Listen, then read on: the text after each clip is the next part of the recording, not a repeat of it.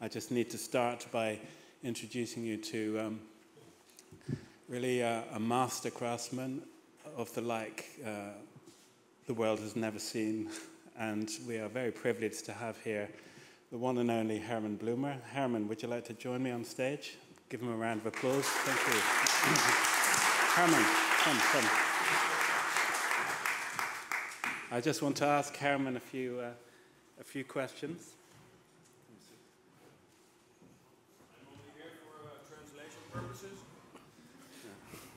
This is Lauren Brasser, who's uh, also a master craftsman. And um, so we're the timber gang here. When I, when I was a student, Herman, um, one of my uh, absolute favorite designers was the brothers Grubenmann, which uh, in the UK nobody had ever heard about. But I knew because uh, the architect John Soane, who is a classical architect, had done a tour of Switzerland. So he, he had made little models of the uh, Grubenmann brothers bridge at Schaffhausen. And uh, that turned me on to uh, the idea of building in timber and building ambitious structures in timber. So tell me, how did you get into it? Was it in the family already? Are you a descendant? No, no Grubenmann was in uh, the village, uh, two village between our village in Teufen and his, uh, I was born in Waldstatt, 15 kilometer airline. Yeah. Airline, yes. And uh, in our country, Appenzell, uh, he's a very, very famous person because uh, we are proud. He built his bridges, uh, one bridge in Schaffhausen, I tell it this evening, uh, with 120 meters span, free span, but he couldn't build it like that because the client would that has a pylon in the middle. Mm. They couldn't believe that it's possible to build a bridge with 120 meters in 1780, something like that.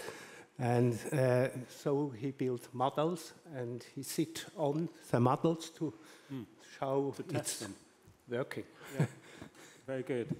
And what was your route into engineered timber? What was your personal journey into this world? Uh, my personal, uh, I was born in the company of my grandfather, father, oh. sawmill uh, carpentry, yeah. and uh, then yes, I was every time looking how carpenters are working, and then I learned uh, carpenter in French-speaking Switzerland. So I could learn French, but not English. That's my problem. and uh, then uh, I thought that, that is not good for the moment with the timber, with the wood. I go to the high school and learn engineers, and that was the start. Hmm. But I was there were 220 in, uh, students, and I was only one to do a work with timber.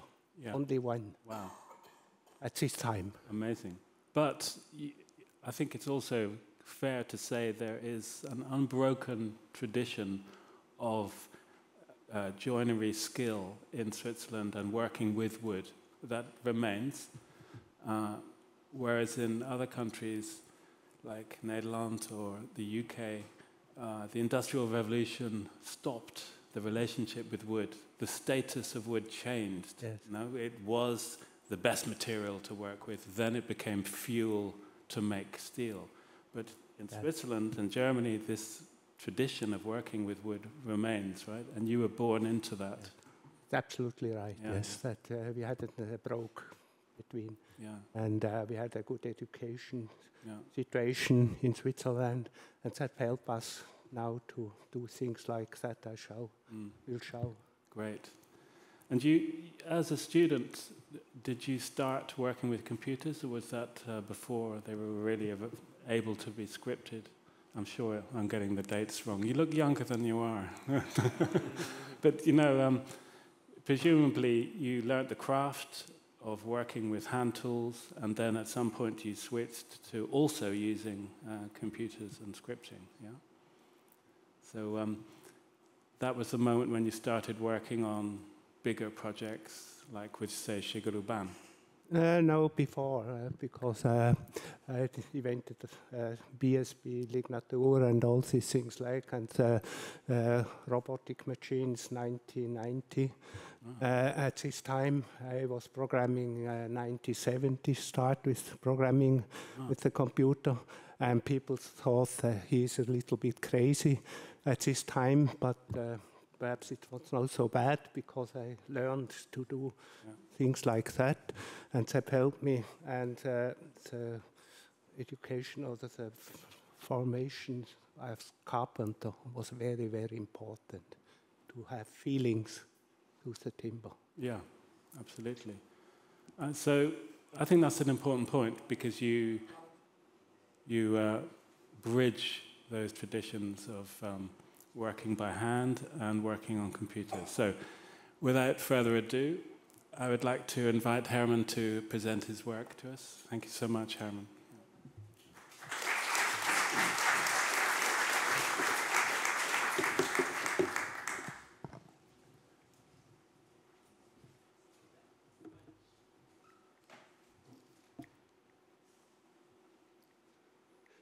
Have the presentation.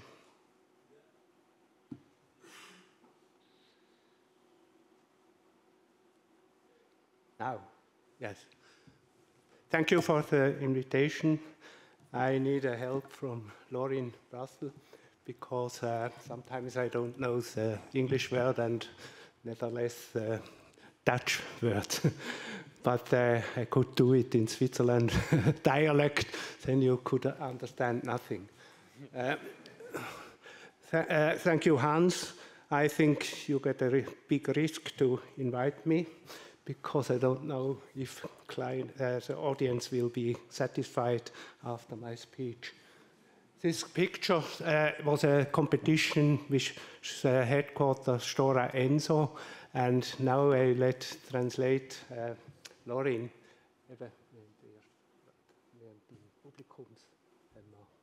Absolut zwei gewählt und hat Angst gehabt, dass ich das da nicht bauen kann. Uh, um, so um, he's, he's uh, explaining about this project in which uh, they, they were the, the preferred, uh, um, sorry, they, they were by far the preferred um, um designer. There, there was a, a public, um, um, there was a pu public, it is on? Okay. there, Maybe you got to press something. Yes. Um, so there was a um, public jury.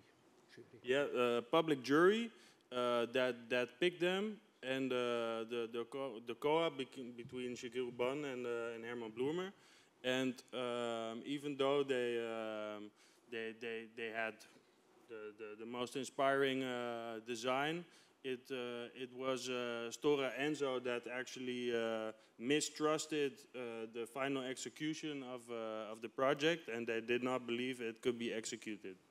So they were they they finally picked the, the, the second design and not their design. That's a problem I have with Shigeru but I think, uh, I'm sure, water and wood will be in the gene of Dutch peoples because they build all ships, whole timber ships, wood ships, and wood mill, windmühlen, windmills.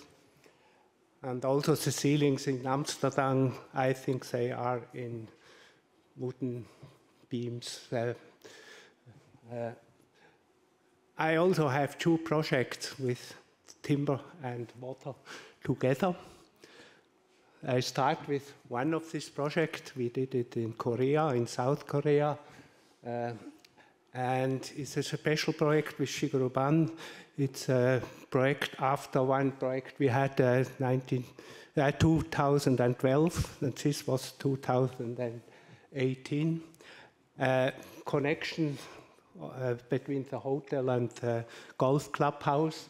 And here the big hall is very special because on the top there are really uh, be, uh, Bäume, uh, trees. And uh, water, and below are trees made in carpentry. Uh, I'm passionate with uh, rhino designing because when I had to do the center, center of Pompidou in Metz, I couldn't uh, design the geometry of this uh, construction of this uh, roof. So I learned uh, Rhino and uh, also RSTAB, uh, that is a static program. And with these tools, I can really do think like that. I, the best is when you learn tools, when you have something you can't do without your knowledge, then you should choose good tools. Another project in Japan that is a visiting center of uh, uh, Fuji. The Fuji put on the head and uh, uh in the water you have the Spiegelung. Uh, Spiegelung. mirroring. Mirroring. And uh, Shigeru Ban met me in Switzerland and he showed me a mock-up that was built in Japanese and he was absolutely not satisfied with his mock-up. And so I said to him I will traveling uh, very very fast to Japan for one day. And the mock-up was like that. It was not uh, precise and there are gaps and uh, you see the people, never, nobody's laughing. I was alone, 15 people around me, uh, Japanese people, so 12, about 12. And so I explained how we can do it. We uh, delivered, uh, supplied um, CNC machines and the result was fantastic. That would say you can do things with people when they are motivated, very, very foolish. You can do that when you have the good towels. Uh, now I try to our genes.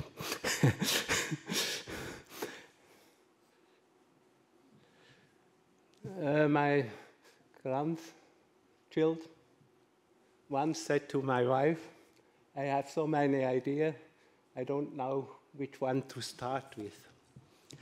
So you must have an idea, and the idea can come from architects and... Ik dat lezen?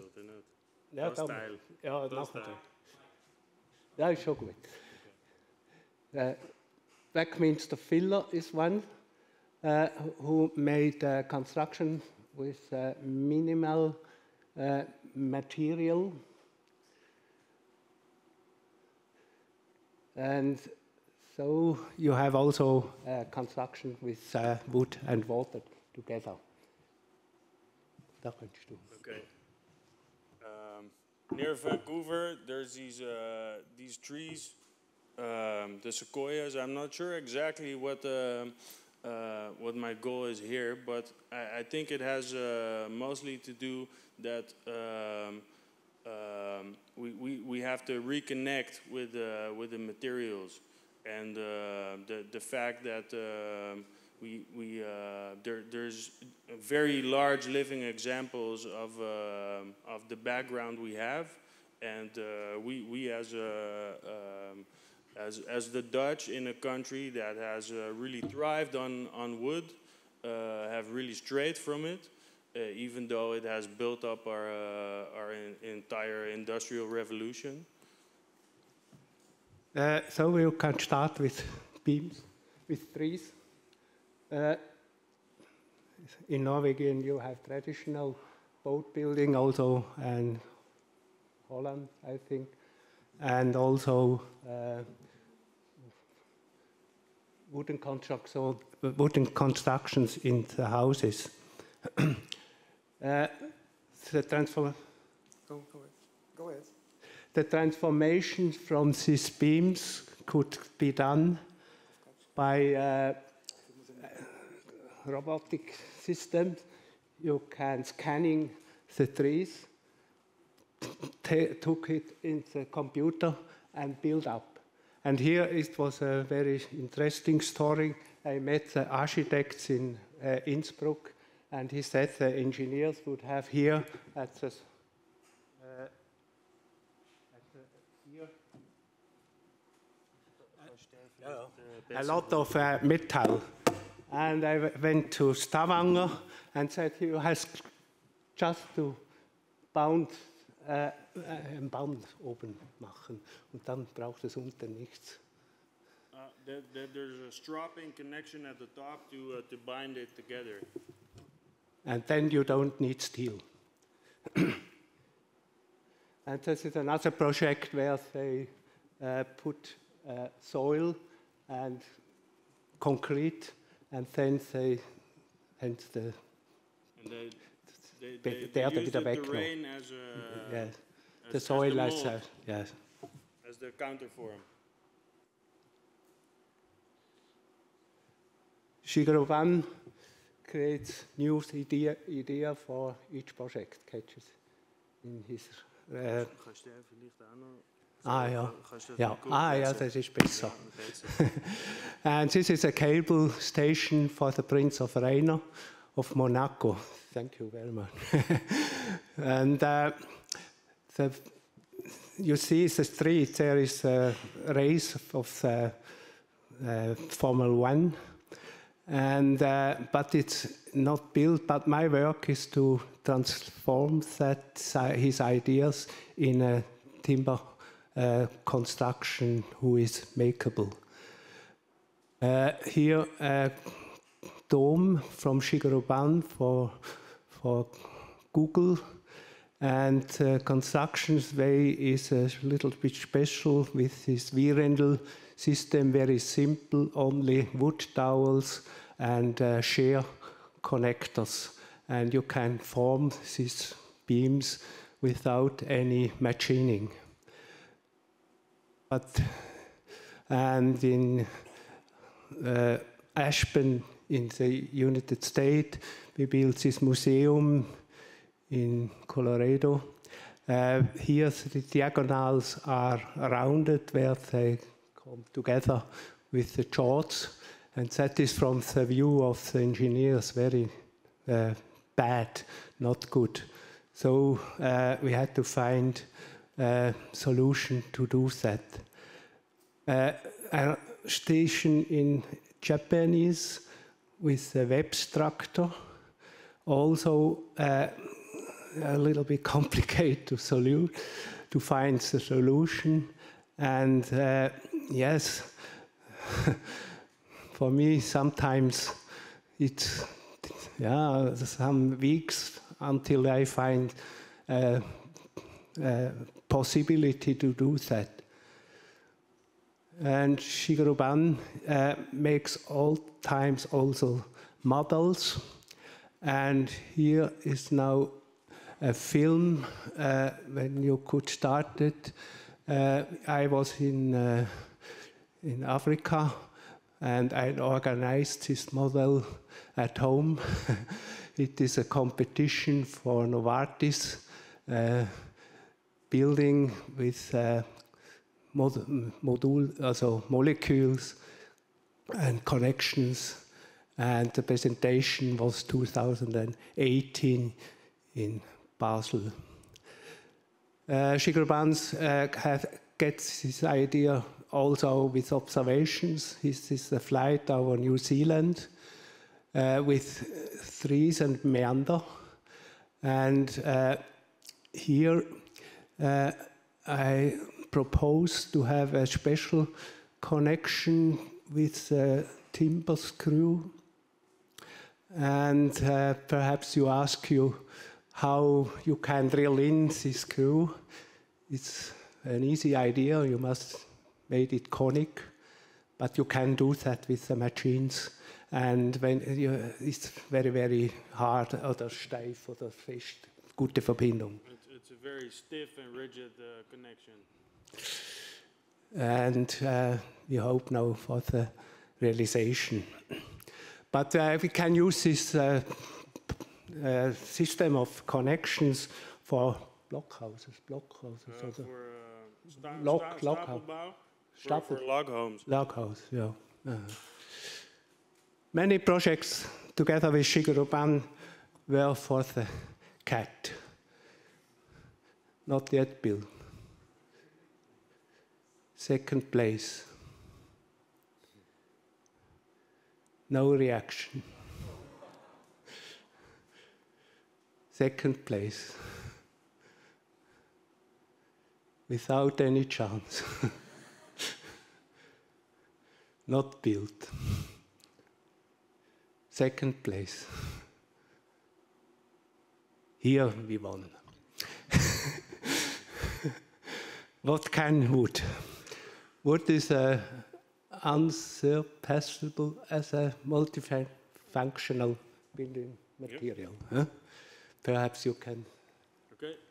Um, the comparison to a decathlete, uh, build, build, it is a building material, it is a thermal insulator, a sound insulator, sound absorber, energy storage, humidity regulator, interior design, exterior design, fire protection, fuel. So it uh, accumulates all these uh, all, all these characteristics which the Blumer company has integrated into a very wide array of Lignatur uh, elements that offer offer these specs and uh, is a very fast and uh, effective uh, way to, to, to solve building problems. Uh, when we think at wood, it's like a, a rod. Uh, in the longitudinal direction, very good, but not very weak in the transversal direction. The advantage is that we can have bending in the wood and also stiffness. huh? Yeah. Would you say something? No? I, I think uh, It's clear. Yeah, it's very clear. I hope. because we, you must understand that, the wood. and so you can, uh, uh, wood ha- ha- also in senate, from the nature, uh, but also in the art. James Turrell was, uh, is the same age as me, 81, but he started as psychology, psychology, psychology, yes psychology, and then he built so uh, light uh, buildings connected with light. He was also pilot, pilot, pilot. uh. And uh, one project was a fairy island in Maldives, and uh, the problem here was a little bit special. No racing, no di- diagonals, a big hole in the middle of the roof, and five millimeters of edge roof Yeah, yeah. edge. A super, super slim edge that had to be perfectly straight. And all connections had to be done stiff Yeah. and with people's there. Uh, with the with the local production, so um, uh, local Af- crews, African local people, assembly. Yeah, and like African peoples. But it was very, it's now very nice. uh, 2013, I had a question from Shigeru Ban. He comes into Switzerland uh, to Kloten for two hours and he asked me what can wood better than steel and concrete in a seven-story office building. And my answer was silence, silence, silence. I didn't have an idea how I could answer.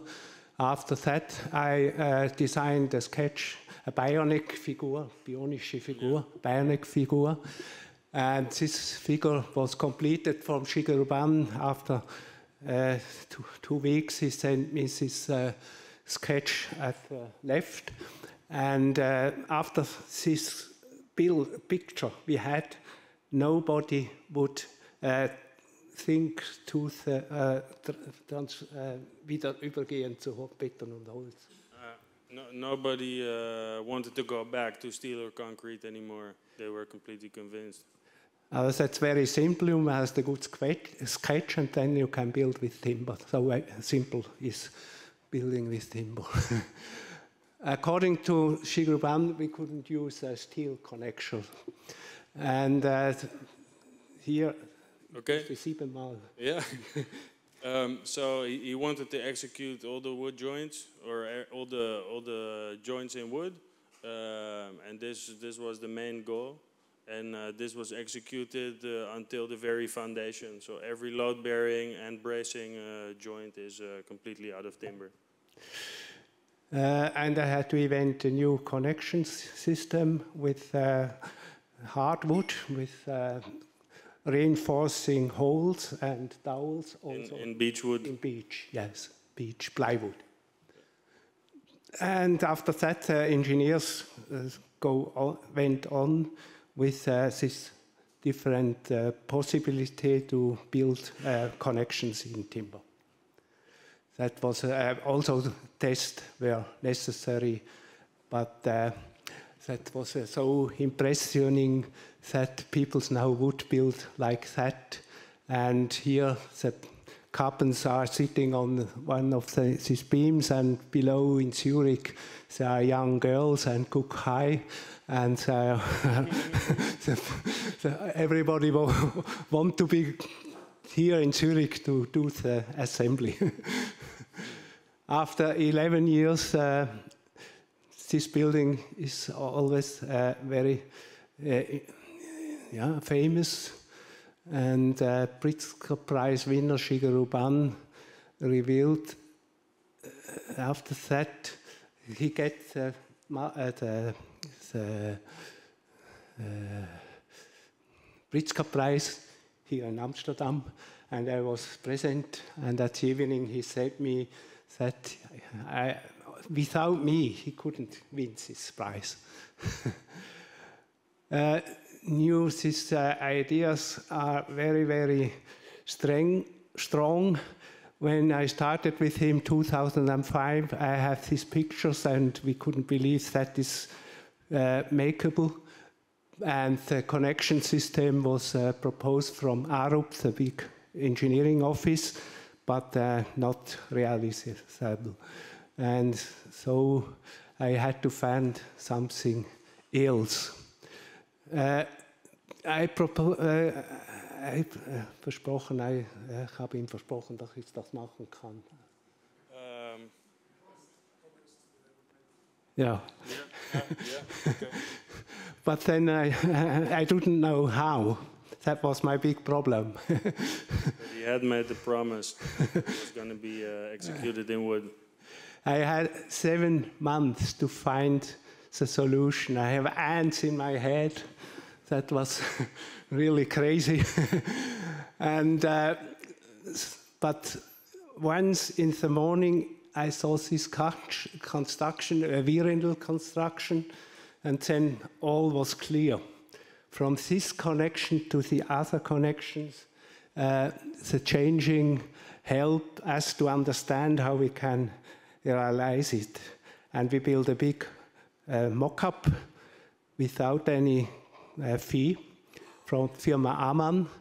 And uh, I had the help of the geometry from design to production in Zurich and also the, this, uh, the machinery dates to transform uh, they helped me, and that, this time was really uh, the first thing we built with these double curved beams and twisted beams. But uh, it helps a lot to go on with wood constructions, and now it's no, uh, normal. You can build without any any help. Opening 2010. Another building in Korea uh, at this time. I was uh, in Korea, and that was my problem. I didn't know how to do it, and and the deformations were about four times too high.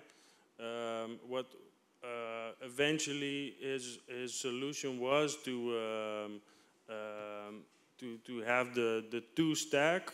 Um, so it's it's uh, two times two layers, and the half notching of these uh, of these notches were either on the inner two cores or the outer two layers, and that meant that um, he he could um, he, he could uh, have con continuous strings and have um, them only weak in compression points or in stretching points, and that's how he shifted from the outside layers to the inside layers, and that's how he solved the. Uh, yeah, and so simply was the solution.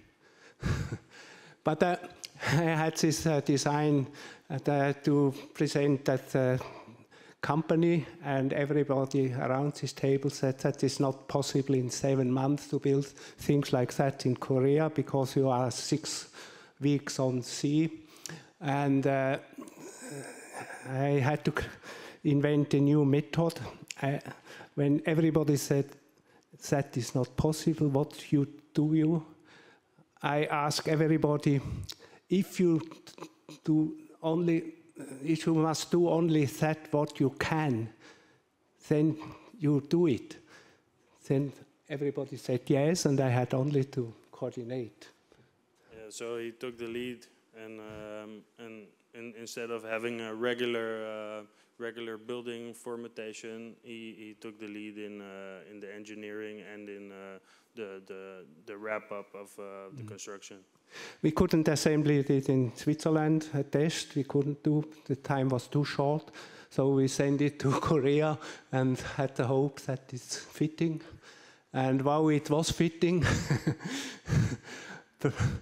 and uh, at the ceremony, Shigeru was very happy, and nobody could understand how it was possible to do things like that. For everybody, it was a little bit uh, geheimnisvoll sick. Yeah, yeah. Theory, yeah. yeah. Uh, the project uh, in Zurich, uh, in Biel, uh, from Swatch, we were there, uh, eight, four architects were, had a competition, but we uh, had a pre, -pre presentation and after one week we, was, we were chosen to do that and you see that is uh, from the complication, this uh, view enormous, uh, uh I think uh, that goes in a direction who would can be absolute champion in the future. But because in steel or in concrete you can do that, things like that. That that's not imaginable. And uh, also this musical in uh, Paris. I come to the end. My genes, genes are risk, risk, risk. And uh, I had sometimes a, a, a counselor, counselor uh, of uh, town, Tony Steiner, and he sent me to build a bridge to planning a bridge uh, never see. And my designs were very simple, very traditional. He was absolutely not satisfied. And then uh, is a good mean that you think nine, that is in German, nine, nie, mm-hmm. in Norwegen. No. Uh, noch ein Input nötig. Nine is. Another input necessary. And that helps, then you go on, and now it should uh, uh, put on the film. because that is now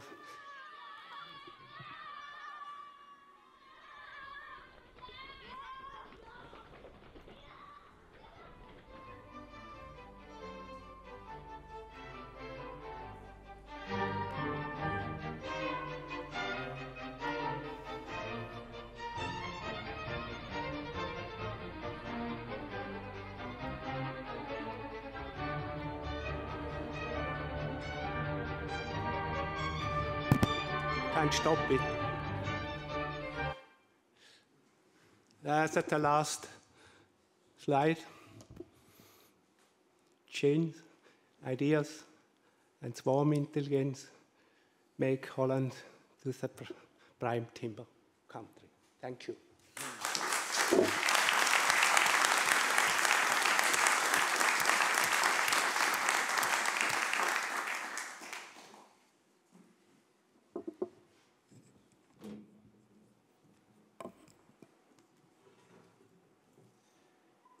Fantastic, Herman.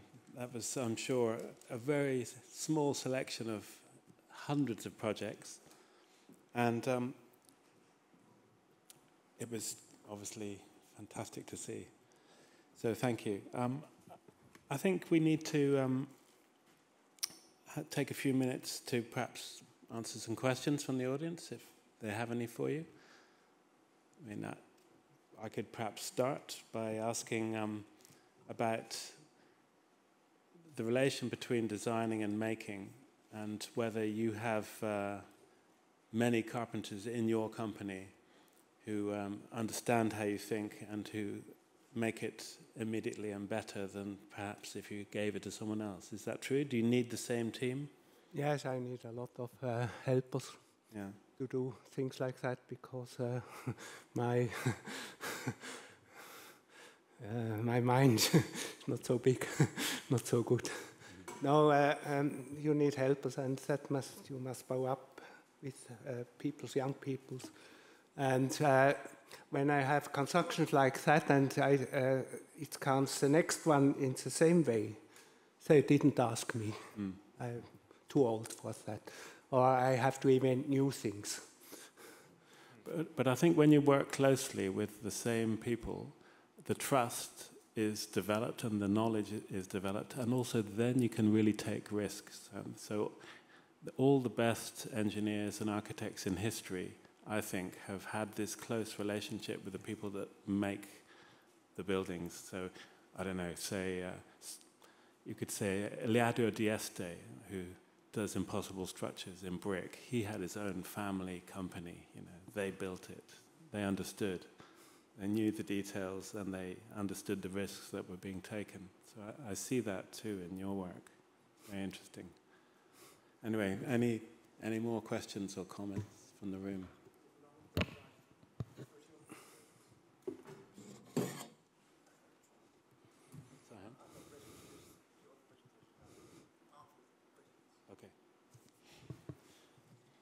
So we're going to do the questions afterwards, if that's okay. So we'll big round of applause for Herman Blumer. Thank you.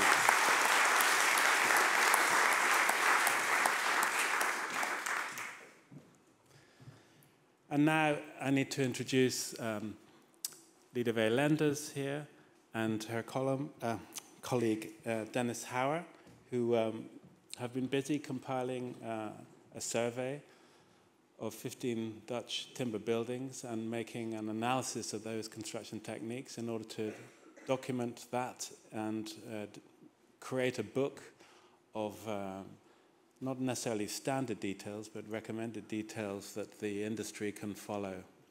And I think this is a really important document because it will, of course, open doors for many people who want to build in timber. So thank you.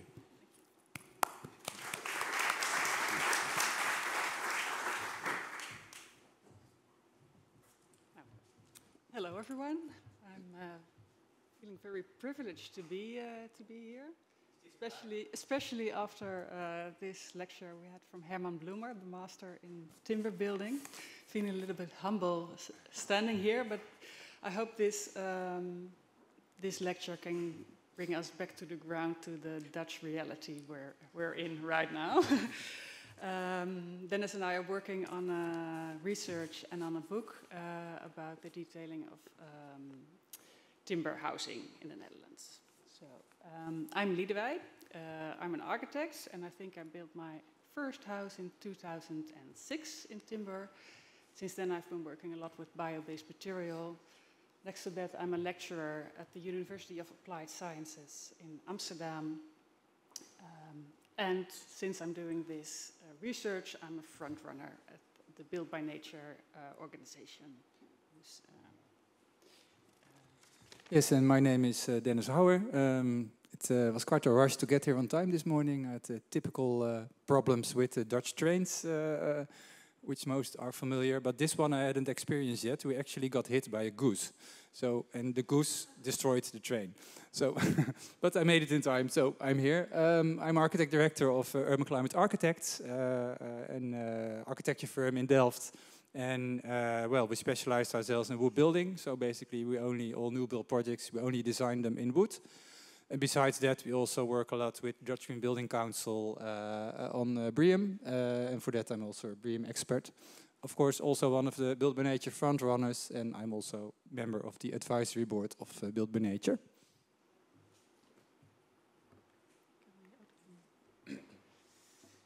Yeah, I first want to explain you, I think it was in 2016 or something, I was working on my first uh, stacked uh, housing uh, apartment building, and I found out that uh, I, I, did at first did this simple housing, uh, row housing, that's quite simple compared to the stacked uh, detailing.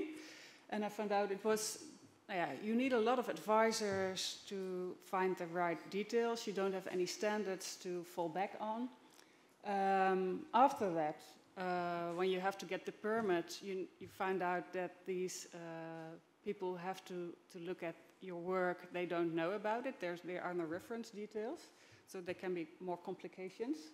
In the execution phase, things can go wrong, and in the uh, um, last phase, when people are living in the building, uh, problems can occur, like, for example, uh, the sound or uh, sound problems. Or, um, so there are lots of things, I don't want to be negative, there are lots of challenges we have in this uh, housing detailing where we can learn a lot from.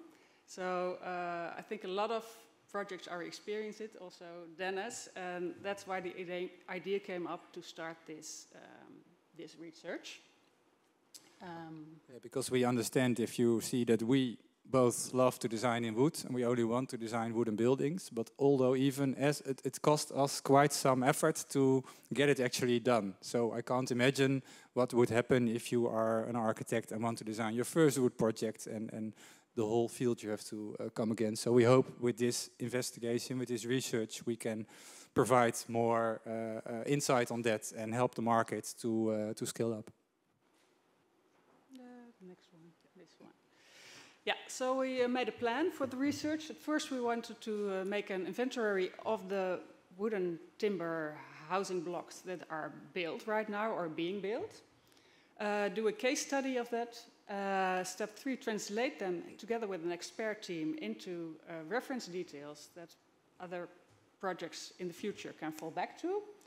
Translate this into a handbook, and afterwards we will uh, tell the world about it. Uh, yeah, I, yeah. At first, it is uh, the focus is on the Netherlands because also we need it in the Dutch building regulations and the Dutch culture. But perhaps after we finish it, we can look abroad and perhaps look if we can put it also into a European database, for example. So uh, we're not just yet finished. We're almost halfway uh, the research. So we're now completing the case study of the 15 uh, projects we, we um, selected.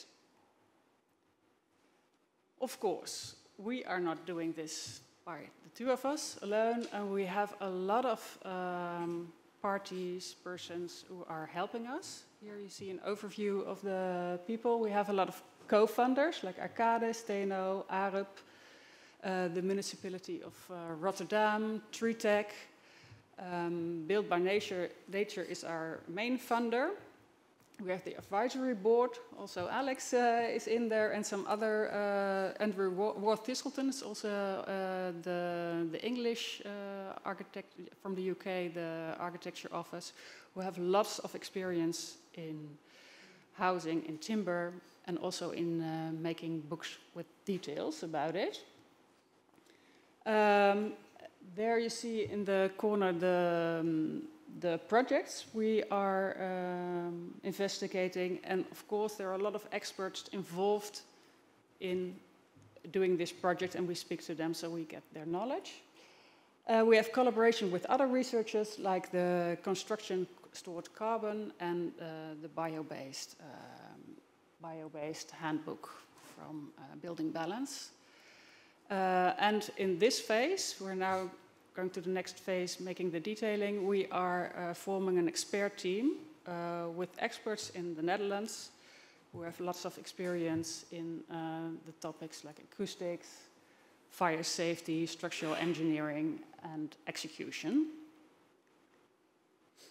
So this is the first uh, inv inventory of the project, and we see the first stacked housing uh, in the Netherlands was in Almere. It was the Malmöhus. It was uh, in 2009. It was really his time uh, for the other ones. And then in only in 2016 and 2019, we see the buildings of Tom Frantzen, um, who next to the timber ambitions also had the wide ambitions to, to build with an open building structure.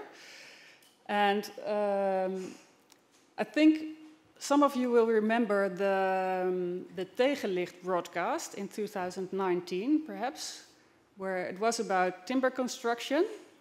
And for me, it was like a turning point in how people look at timber construction. Eh? It, uh, in this world where we build with these finite, finite, finite uh, resources and pollution, pollution uh, materials, we can change it building with bio-based materials and uh, add a positive, um, uh, to have a positive impact on the climate. And we see here in this uh, overview that in 2021, the first, or there are more buildings appearing. So I think it also marks the turning point that the post post tegenlicht documentary. yeah. yeah, what it can do. So um, now we're uh, yeah we're now halfway 24, of course. Uh, so this is uh, you see the buildings are already completed, and where are, it's already where is still worked on. It's on the drawing table. Um, we uh, we selected these projects um, to research to do, for the case study. And we did it on the criteria that we could get the data of the architects and the builders. And also because we wanted to have a like kind of diversi diversity in the typologies uh, of the building, because we see every building uh, is built differently. So we uh, distinguish uh, five typologies. Um, we have the hybrid uh, constructions, uh, like like the top up, where concrete, for example, concrete floors are combined with, uh, with uh, timber columns. We have uh, the hybrid constructions with the concrete core, where the, where the, the stability is formed by, by concrete, and but you have uh, the, the, timber floors and walls, for example. Uh, we have the more pure 2D uh, slabs out of CLT, typology. We have the typology with the uh, column beams structure. And you have the typology of the 3D modular where the, the units are built in, in the factory. And when we look at the range of projects, we see that we have in the first typology the like patch 22 top-up. The second one, Hout, Mooiburg, Casa Vita, Falkenstein, and Stories. In the third one with the 3D slabs, it's the Moslaan, Knoest from Urban Climate Architects, the Monica Hof in Utrecht. Hof van Duurzaamheid. Monica Hof is built not with CLT, but it's with uh, wooden frame structure and uh, LVL um, floors. Hof van Duurzaamheid, uh, the wooncorporatie. Okay, I have to continue so you can see we have a lot of projects. this is the study where we're almost finishing now, and now I pass it on to Dennis, who will tell you about our first uh, findings in the research. Yeah, so obviously no details yet, but what we did is we had some first um, uh, things we saw, and basically what we did is we uh, focused on this part of the building. So basically what you see, you have four apartments buildings, we call it the apartment cross, and everything mainly comes together over there. So how the structure is realized, how the acoustics is arranged, how the fire is arranged, and, and, and it tells you a lot for a first conclusion.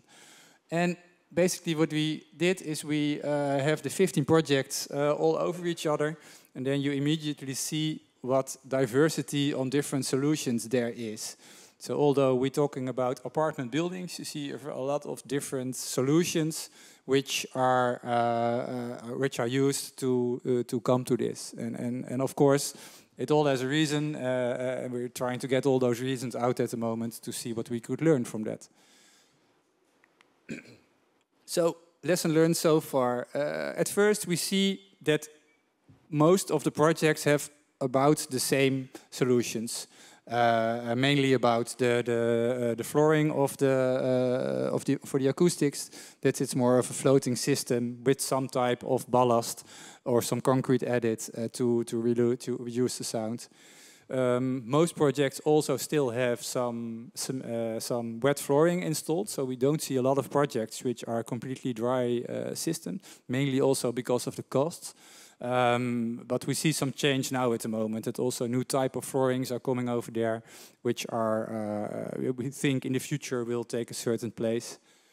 Uh, and all the projects uh, uh are disconnected by acoustic tape also, uh, as well in the joints, as well as in the, uh, as in the CLT elements. Another one is that most of all projects started with a great wood ambition, but a lot of times you see that uh, uh, it turns into a hybrid system. Uh, I think patch 22 uh, and, and top up was a good example of that. Uh, really high ambitions, whole system was already thought out, but in the end he had to move back to concrete floors because it was simply uh, a lot cheaper um, and, and easier to solve, and that's a shame. Um, another thing is that we we're in Amsterdam. We have the MRA uh, over here, of course, with the ambition of the, the wood buildings. And what we did, let's see what happens if we uh, test some of these projects to the MRA criteria. And the MRA criteria says that the building consists of at least 65 to 50% bio-based materials, uh, not including the foundation. And if you see uh, some projects over here in Amsterdam, Hout uh, and Mooiburg don't uh, because they're hybrid, don't match that. Uh, and two other projects, which we know are completely made out of wood with the, uh, uh without uh, only the ground floor is concrete, even then you see that it's difficult to get higher than 80 to 85%. So you see that the volume of concrete, which you still have to use in these projects, still defines a lot of those scores and also in the MRA criteria. Another thing we see is that a lot of projects uh, have a very beautiful CLT construction, but in the end it's totally uh, packed with gypsum board. Uh, uh, of course, we have the flooring system, but also the walls, the ceilings a lot of times. And, and if you're lucky, we still see a wooden ceiling. So the question is, if you are going to design it like that and you're going to make it like this, why do you choose for a complete CLT structure? Because you still use a lot of materials. So maybe if this is your goal or you need to do this because of sound, it's better to choose for a different system. So maybe better a column beam system or something like that. Uh, but in the end also we see that in the different solutions, the, the, the mainly on acoustics uh, and fire, uh, there is a lot of discussion about what we can do inside and what not, and what is the best solution, and do we want extra uh, comfort uh, to make sure that, that it will work or not. And that's still something we are uh, puzzling out. And of course, also the lessons learned during executions. Um, well, we're in the Netherlands, not the best weather, especially, uh, well, today is great, but the last nine months were horrible. And uh, if you build CLT uh, in our climate, then you really have to take care of that, so that if it doesn't, it's no problem if it becomes wet, but it mustn't stay wet. And we see quite some problems with, with, uh, with that in practice, where uh, over time, luckily not in the Netherlands, I haven't seen a project in the Netherlands yet, but there are some projects which we see in other countries which actually uh, create some problems with moisture in, uh, uh, in, in, the, in the projects. Another thing is the dimensions and the tolerances. Wood is, has a zero tolerance. Uh, that's a picture I took from a project in Rotterdam, which we did. And you see that the window framing in the wall uh, actually has a tolerance of uh, not only two millimeters. So that means you can design with less tolerance, so you can design much more clean. But it also means that you have to execute it really clean, because if it doesn't fit, uh, well, if it's a bit too big, maybe you can shave it off. But if it's too small, then you have a problem again.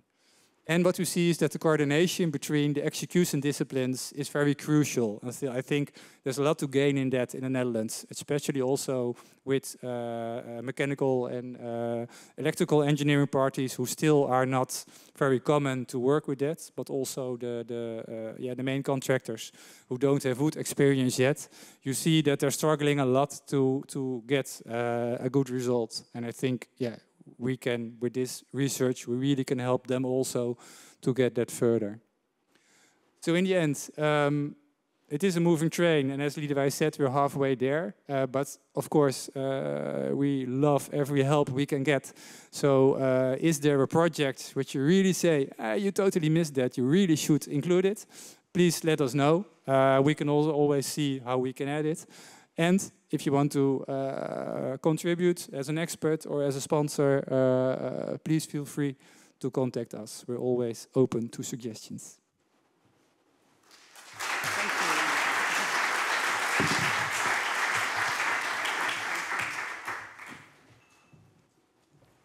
Thank you, Liedewij and Dennis. Great. And we'll go straight on. Um, our next speaker and last speaker is Mechthild Stuhlmacher, and um, a German-born architect operating here, and I look forward to seeing her insights into how to build in timber in Northern Europe generally, but specifically for us here in Holland. Okay, thank you um, very much. I have a real challenge of having far too many slides. I will race through them um, how we want uh, work in timber, that we want to build in timber, I've been sort of uh, advocating for more than 10 years, and then I was very, very fed up with that. And I got really thousands phone calls by colleague architects wanting to, how do you do that? How do you do that? How to work with CLT? So I, um, then I stopped that and I thought we will just concentrate of how we do it and what we as architects, as form givers, as space makers, can actually contribute to this discussion. Um, I um, want to talk about three little chapters. One is um, the titles are here. Um, because I cannot mention every collaborator every single time. We are, as everyone, we are not alone, never, and we cannot do anything by ourselves. We need our contractors and advisors very much. Um, Sigurd Lewerentz, that was actually the one that brought me to timber, even though he has not built in timber at all. I was completely fascinated by this project for spatial reasons, and it was made in concrete by an architect who was um, in way in his 80s. And this is an iconic building, and we wanted to have a um, built in the Netherlands, where at the time it was SML XL um, prime time and no details and no materials. We wanted to achieve something that has the same sort of unity of material, structure, and space, and that brought us to the timber. Our, so our own uh, very first building was this parasite Las Palmas. It became quite an iconic thing, but it is actually an homage to Lewerentz. It's it's almost the same, uh, same kind of shape, and it was detailed. Uh, sustainability also was not a big issue. I had a sort of an intuitive feeling about working with nature and that that was better than concrete, full stop. But even the word sustainability was not invented, and the, uh, the word uh, of CLT even less. It was called Dickholz, and something uh, else was uh, hardly ever um, known. Um, we, uh, we built that and we learned a lot because the, the, the um, interior was probably a little bit like we expected, like, like we hoped. It was meant to be a temporary building, but we also found out that it now only starts. This is not an end. We have to learn a lot to make it really well. And um, especially in, in the interior, there's a lot to learn the temporary uh, situation took us more than five years. And in these five years, I argued a lot for the use of timber, but I think simply it was too early. There were, very, very few people wanted to hear that. and uh, we were uh, even nominated for a Timber Innovation Award, but a concrete uh, structure um, got the prize, and we got by the Houtblad a bunch of flowers to apologize. It was um, not meant to be. But then we got, uh, by a few pioneering clients, we got the commission to build CLT houses, and we tried to improve what we were found spatially lacking in the Parasite Las Palmas. And these were rules we in, uh, they were only from the sort of spatial made about just only from the spatial experience. For instance, one of the big, big problems, if you want to um, work with CLT and you want to combine it with other timbers, it almost never fits. Oak and uh, softwood just don't belong to each other. We found out. So we've, uh, this, I show that because it is the discovery of the ash in combination with the CLT. That's the only hardwood that we find working. We, um, we have uh, also learned, also from the uh, Parasite Las Palmas, that there can be also too much timber. Don't use it for everything. Take the material out of the furniture, take the material out of um, the, um, the floors, and then you get a much better balance. Also, one of the biggest uh, experiences of the Parasite Las Palmas was the, um, the flatness of the CLT structure and people tend to not consciously experience that if you don't put something different next to it. Then you can see here in this, uh, in this example the veranda outside, which is a traditional structure, and the flatness in, inside. And this combination, we feel, makes the experience richer. We have then um, uh, decided that we probably want to build never without timber, but we um, concentrate of using it where we actually can have multiple reasons to, to show it and to use it.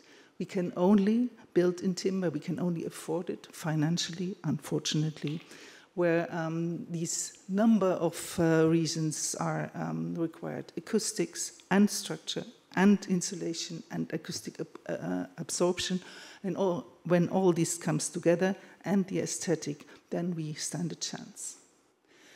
Um, we have also experienced that there are many, many tastes in, in, uh, for timber clients. This one was a very, very different one than the previous one. Um, in a building in Rotterdam that looks still sort of very normal, a nice uh, uh, CLT uh, structure as one, or I also, my personally would like it. But then the, um, the clients were a very different bunch of people with very different uh, preferences.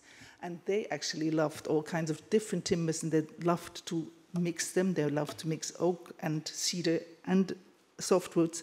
And we found it very, very difficult. And we, that's why we uh, invented painted timber and that enriched the repertoire to, to take these, um, make much more difference between the different um, uh, uses and balance them into this one project. And then the uh, interior can be even relatively conventional by still enjoying the spatial property of the material. The next lesson was not Lewerentz anymore, but another Scandinavian, and that was Sverre Fehn. Sverre Fehn is a Norwegian architect who excels in concrete but he has have, has a different past, and that is, I thought that was utterly fascinating. If you ask me, this is maybe the most beautiful um, modernist building ever built, but this was the predecessor in, uh, in Brussels, um, the pavilion for the um, World Exhibition, and these brought us to the, uh, into the world of the Lignatur and that these were the orthogonal structures, very, very different than the CLTs, orthogonal uh, uh, structures that were uh, that where we could combine the acoustic properties of a building that spans longer. And um, so we could build our first schools in timber using these acoustic properties, the spatial properties, and all these, um, these uh, different uh, stacked uh, qualities that we after, otherwise we don't stand the chance. We built also um, a sports hall in Lignatur, and it's not uh, like it's meant to be because we even used it for the walls and supported it by invisible steel structures, and because the children were not meant to um, put their fingers in the holes, we did a different um, timber profiling and at the end and that was sort of invented within a five minutes phone call with Ralf Schlepfer which was fascinating and it made me even more a fan of uh, the Lignity into a company. Where would we be without them? They are my, our best really best friends in our uh, profession and then um, but sometimes we uh, um, we leave uh, the lignatur and we uh, we choose it for the we change it for the uh, lignotrend these are the competitors. And sometimes that's uh, um, an interesting um, experiment where we use what? The van Eesteren pavilion there we really also celebrate um, the, the beams, the beam structure, the flat, uh, the simple uh, stacked systems that fits into this modernist world of the Netherlands wonderfully. I, I could talk for an hour about this one, but it is um, a simple homage also to um, the Sverre Fehn with a rhythm, with a good lighting, a good acoustics, and here the flat systems are Lignotrend and not um, Lignatur any longer. It's a, uh, it's a space that actually speaks for itself. I, um, I switch now to the real lessons we've, uh, we've learned where we all can combine these. These projects are actually single issue projects. They are meant to serve a purpose, but actually they're meant to, um, to combine the lessons of, uh, uh, they, are, they are meant to, um, to bring the, the idea of timber structure uh, further, but where it really, really matters, and that is our, the biggest challenge, much, much more important, I find, than new buildings, is how we transform buildings and how we work with the existing.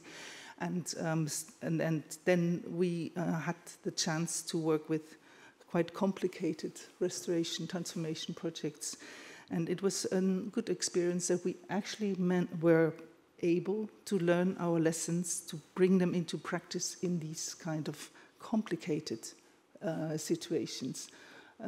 A monumental school building in Antwerp, where everything that is blue is an addition, and everything that is blue is also a timber addition. And we worked here with Lignatur. It was, this is where it all started in 1927, and it was a very, um, in a very bad shape. This school still monumental because it was designed by a famous city architect, Emiel van Averbeke, and we added new pavilions in these courts to make them more inhabitable, using CLT for um, the outdoor um, ceilings and Lignatur for the indoor ceilings because of acoustic properties, that we um, made a hybrid construction with, uh, with a lots, lot of steel, also some concrete, had also to do with the monumental status of this project. These, um, these um, pavilions look like that, hybrid with a, a, a concrete um, um, beam structure. It was a DBFM contract with Strabag, with a very, very large contractor where it things we could not control it uh, in, in a way we maybe sometimes would have liked.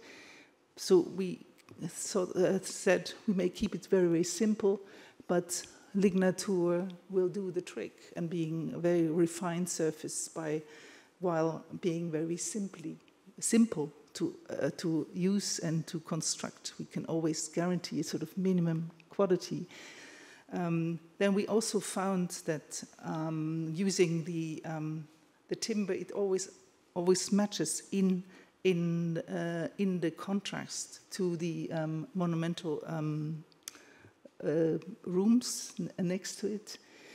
And there is a lot of timber also here. This is purely renovation, restoration, where all the timber elements were carefully restored or even reconstructed this was the original classroom, and the new classroom had timber, new timber windows. So timber is extremely versatile. Versatile, I agree with Hermann Blumer. And then there was this wonderful attic, and uh, we um, we could renovate it, but only due to the fact that we were experienced with timber.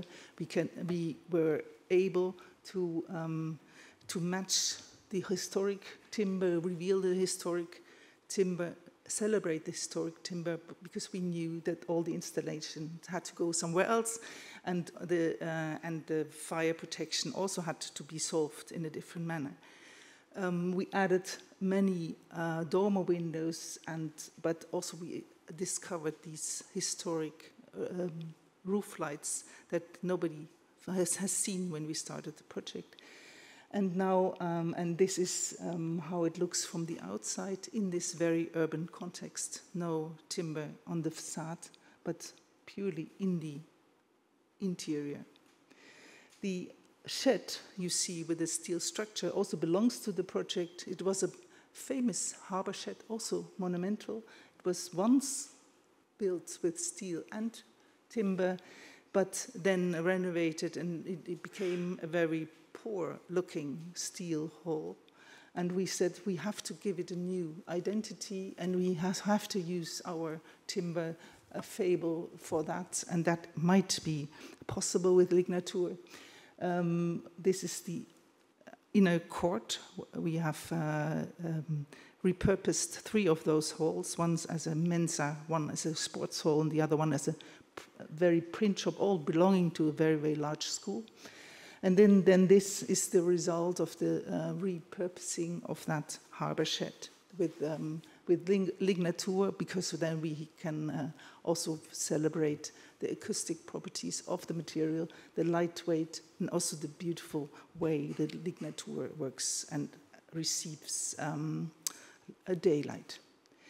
This is the part that is built within the DBFM contract, where the um, Strabag, the contractor, had uh, a say in it. So we have no, um, we have MDF acoustic paneling, and uh, but they could not find um, an alternative to Lignatur, luckily. And this is uh, the, the whole next door where we had a different contract and where we could say, okay, we still want to have the, uh, or even the acoustic paneling in, um, um, in, in ash, and that is then Lignotrend as an acoustic cladding uh, and lining material. And this is then um, the whole project, the new built um, structure next to it. It's, it's half renovation, half new, is um, learns all its lessons from the uh, renovated parts, also the, even the, um, the roof uh, shapes. And again, we bring back the lignatur on, but only on the roof. Here in the, on the ground floor, we only used the timber where we, um, as an interior material, further it was impossible. But here, in this, um, in the hall, they learn how to work with timber. All the acoustic are timber as well, but then um, painted white. But and then, but then we come to the uh, to the attic where there are the art uh, art studios and all kinds of creative classes. And there, the lignatur actually is the material that makes the link between all the parts of that very complex building, buildings. And, um, and I hope that that is recognizable here, a workshop for um, goldsmith and diamonds. Um, and here the views through the um, harbors of Antwerp. I think I run out of time and I just skipped the last project, even though it's a shame. Um, but um, I, this, this I save for another occasion, I think.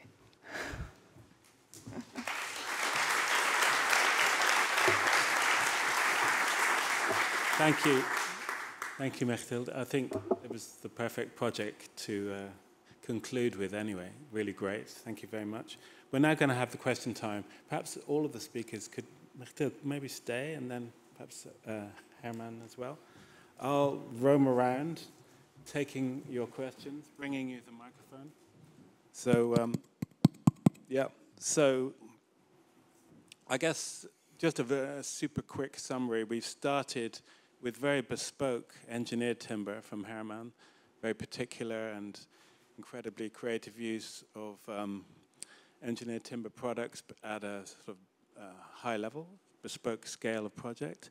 Then we had, you know, what to do with CLT in a in an industry of enormous um, potential for timber housing. I think you know that's the future, what we're looking at. And then we've had um, advocacy of particular components and used in a creative way. So, uh, say, standard, high quality prefabricated components used in a non standard way. So, I think all of that is a very good overview of what's happening in uh, engineered timber. Um, I'll start, if I may, um, because you first showed the Las Palmas project. That was what turned me on to CLT. And I just graduated, and then became the f- I became the first person to use CLT in the UK, having seen that project.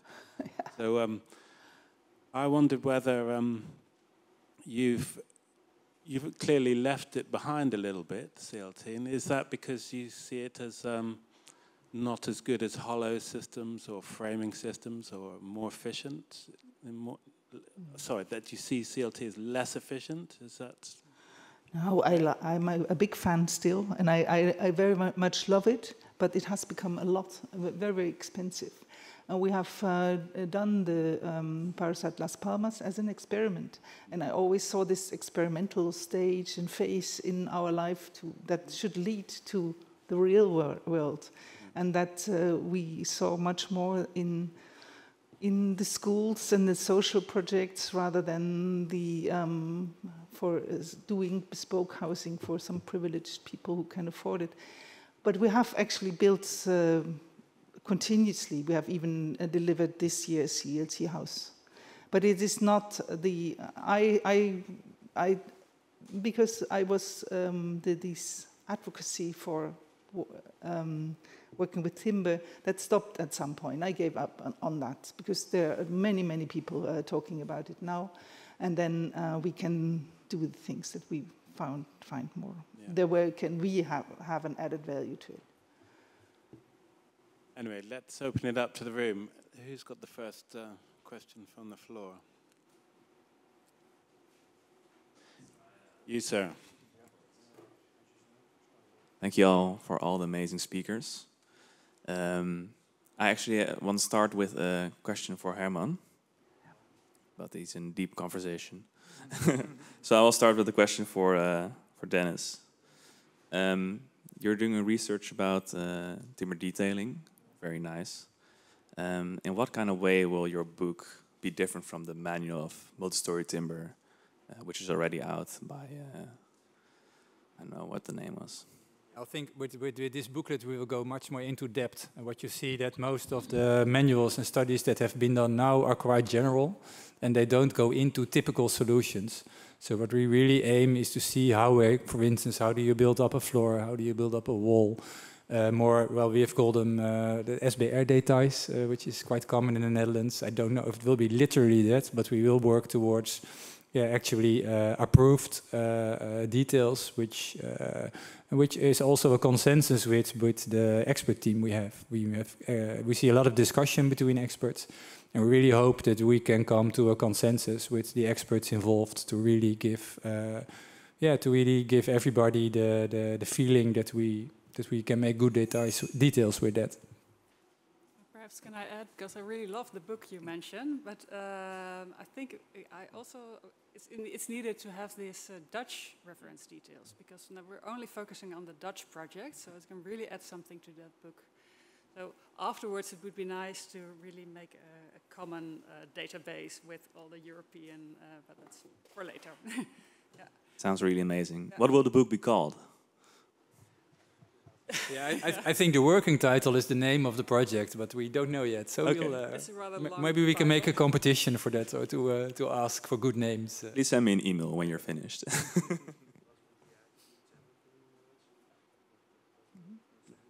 and the next, you sir. Um, I also have a question about the, the book you're working on. Uh, I noticed you created 15 different projects, uh, and you mentioned that it's uh, unfortunately that uh, CLT is mostly plastered away. But you you compared high-rise buildings with very high uh, fire safety and uh, wanden and floors with um, with uh, residential buildings, which doesn't have those properties. Um, so I'm actually looking for if you if you make those comparisons and you make in details, does it require to categorize those different subjects as well? Because you have uh, details on Holzbau for high-rise buildings in CLT with all the um, how you call it the, the properties for the different fire safeties.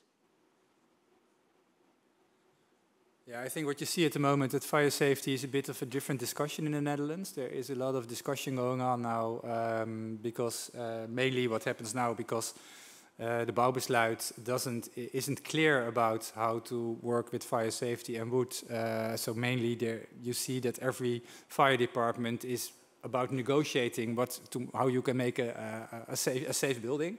So I think everybody really needs to have clear rules on that. Um, so I think apart from our investigation, there is now uh, um, a committee working on a new fire uh, regulation uh, uh for a NEN to um, which really gives more clarity how to work with with CLT and wood projects in that. I think it's always mainly uh, fire safety. You have two things: you have the, the, the, safety of the main structure, the compartment of the buildings, and you have the uh, the burnability of the material you use. And uh, the main issue is about that burnability. And if you want to use exposed CLT, of course you can see uh, if it stands a fire of 1920 minutes with, with, with the fire range, uh, what burns away. But the big discussion at the moment is the burnability of the material. And uh, uh that will determine in the end uh, how much CLT or how much wood we can keep inside in, in buildings. And I really don't know yet which direction that's going. But uh, but we think that it will become more, that you will become more to solutions, at least in apartment buildings, where you will have less wood inside uh, because of the regulations. Yeah, we already see in the projects we analyzed mm -hmm. that there is a difference in, in, between the projects. Some projects, they take into account this uh, fire resilience, mm -hmm. and other just uh, apply to the, to the bouwbesluit. So um, that's something that develops now, but we'll certainly write a chapter about it. yeah. I have a, have a mic. Yeah, thanks uh, to all the speakers for sharing their knowledge. I would love to peek into Herman's brain since uh, you started using computers very early on. Do you have any experience also with like robotized production or robotized assembly for the wooden uh, parts buildings?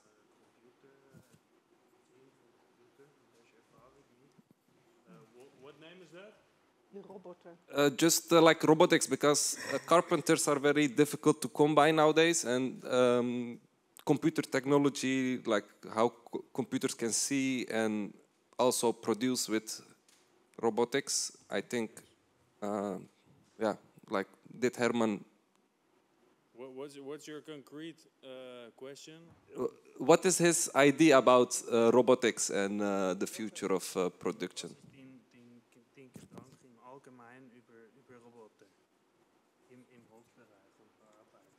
Hört man mich? Ja, ist okay. Also mit Holz damals in den 60er, 70er Jahren, ich kam ja damals aus der Hochschule, hatte man eigentlich das nicht zusammendenken können, Computer und Holz, weil Holz eigentlich als natürliches Material nicht diese Disziplin hat oder diese, sagen wir, Eigenschaft, um geeignet zu sein für die Robotik ebenso wie auch für den Computer. Und wir hatten am Anfang natürlich Mühe mit unserem Schnittholz, das krumm war und zerrissen. Deswegen habe ich damals als erstes Mal äh, gerade bei den Tragwerken mit Ernst Gehry zusammen an der ETH äh, den Entschluss fassen müssen, dass wir nur noch mit Brettschichtholz arbeiten, weil das ist präziser think um, in in the 70s he started combining both uh, robotics and uh, and and uh, and the, and woodworking, which was uh, two completely separate uh, worlds, and um, the way of combining these was only by um, uh, having having a standard and controllable. Uh, type of material. So uh, solid wood was would not facilitate that because it uh, it is less uniform and um, difficult to to work with in a, in a robotic environment. then. Uh, when Shigeru was coming, he worked with Rhino, and that was an absolutely new world because then architect also uh, uh, Zaha Hadid or uh, mm -hmm. Forster or, uh, started with three forms. Uh, Frei Otto was the first, and then was the question: Can you do it better with steel, concrete, or wood? But we had at this time our CNC machines. This was a, a special machines in 1990 was built uh, with five axes, and we could form uh, carved these uh, beams, and that helped to free uh, to found to find a new way to go further with timber. And now I think we are in a situation that timber is the first choice when we have complete complex forms. Mm -hmm. uh, for you, the, the good uh, choice is to have acoustic material. Yeah. that we can do. Huh? Yeah. Hmm. And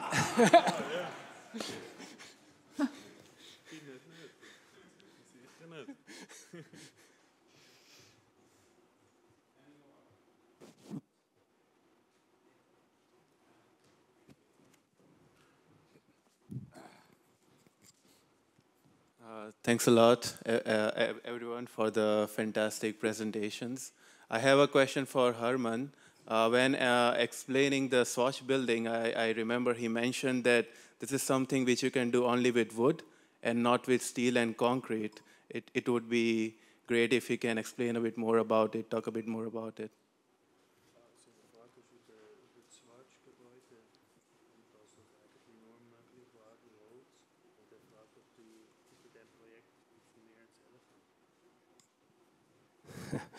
Ja, ich könnte noch.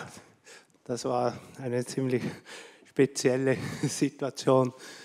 Nikolaus Hayek hat ja damals Watch übernommen und das ist ein sehr dominanter Mensch. Und wir waren in der Präsentation diese vier Architekturbüros und Nikolaus Hayek hat mich dann gefragt, seine Schwester war auch anwesend, ob wir das überhaupt mit Holz bauen könnten. Oder er traute uns natürlich überhaupt nicht. Bauen schon etwas, aber mir natürlich nicht. Und ich habe dann gefragt, wenn ihr Uhren bauen könnt, dann können wir das auch mit Holz bauen, oder? Und ich glaube, ich habe schon das Vertrauen gewonnen und da hilft natürlich Shigeru Ban mit seiner starken Überzeugungskraft, dass man den, den Weg mit Holz geht. Und sein Projekt war natürlich schon in diese Richtung gezeichnet. Ich glaube, mit Stahl würde man nicht einen gleichen äh, Entwurf machen oder mit Beton. Der Entwurf ist schon natürlich schon etwas holzbezogen. Und äh, dann kam natürlich die ganz schwierige Situation, wer kann das ausführen? Und da gibt es einfach in Europa praktisch fast keine Firmen, die das können, oder? Also damals. Jetzt gibt es mehrere. Aber das kommt jetzt langsam. Und das war äh, sehr, sehr schwierig auch, weil das sind verschiedene Eindeckungen mit transparenten äh, Öffnungen, mit opakten Öffnungen, dann Solarpanels und äh, das war äh, gemischt über das ganze Gebäude bei diesem Wurm. Und da hatten wir dann einen guten Vorschlag, aber dummerweise, und das muss man schon sagen, ist dann eine Firma aus Deutschland, hat sich da reingedrückt mit besseren Preisen. Und das Dach ist halt einfach heute noch nicht dicht, oder? Ich möchte nicht sagen, dass Deutschland immer schlechter ist, aber eigentlich hätten wir Holländer haben müssen. aber die Erfahrung hat einfach gefehlt. Und ich habe natürlich durch meine Firma früher so viele Fehler gemacht, auch mit Dacheindeckungen, dass ich einfach wusste, wie man das, äh, sagen wir, lösen muss. Äh, aber eben Schicksal. Äh, der Holzbau, der hat funktioniert, die Eindeckung leider nicht. Okay, quickly. I'll uh, try to uh, try try to uh, translate this. It started out, out with a very stubborn uh, uh, lead man taking the project.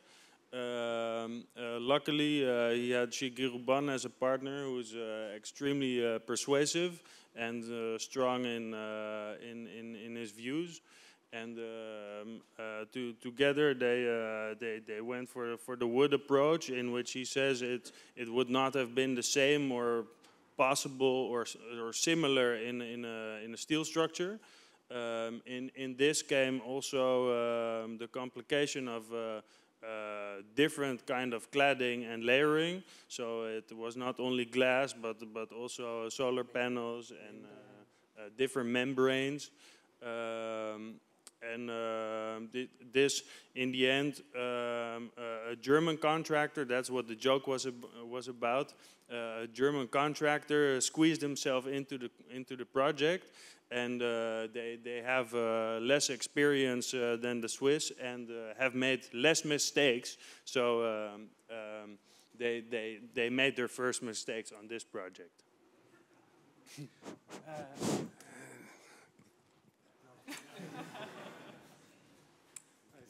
Dankeschön. I think that's a really good moment to, uh, to conclude because it's uh, already time for the break. So I want to thank you all individually for uh, your contributions to a really interesting morning. Thank you so much.